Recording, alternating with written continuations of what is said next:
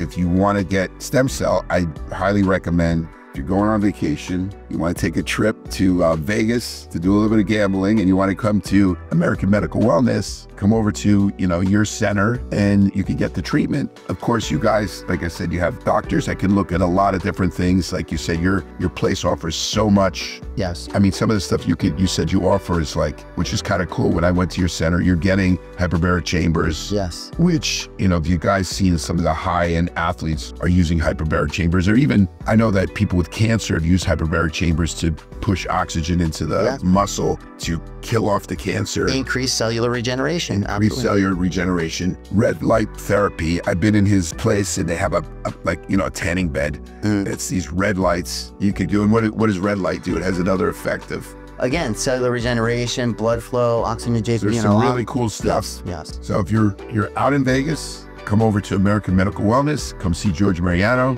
Yes. And I think you're really going to get some great treatment there besides just going to Vegas and gambling.